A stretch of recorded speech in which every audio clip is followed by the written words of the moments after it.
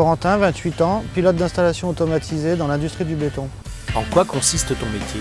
Je suis pilote d'installation automatisée dans une usine de production de blocs.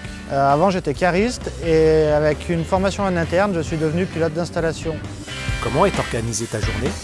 Euh, je commence à 5 h du matin euh, en mettant la machine en route et après c'est 70% du temps de la surveillance, 20% de réglage et 10% de nettoyage.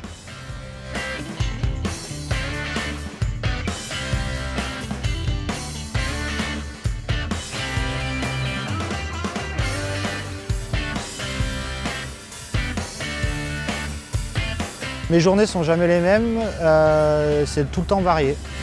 Quelles sont les qualités nécessaires pour faire ce métier? Pour euh, faire ce métier en qualité, il faut euh, être rigoureux, attentif et savoir travailler en équipe.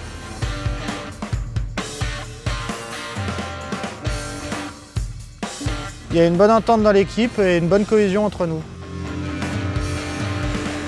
C'est un métier où il faut être polyvalent, on fait aussi bien de- du pilotage, de la maintenance et du chargement.